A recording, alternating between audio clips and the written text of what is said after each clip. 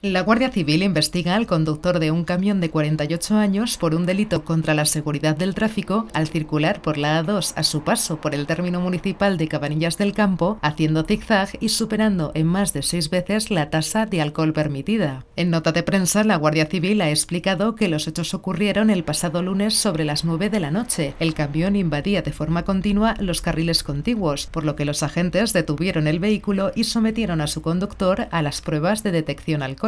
El conductor, que superaba en más de seis veces la tasa permitida para la conducción de este tipo de vehículos, fue puesto a disposición judicial en calidad de investigado como autor de un supuesto delito contra la seguridad del tráfico por conducir bajo la influencia de bebidas alcohólicas.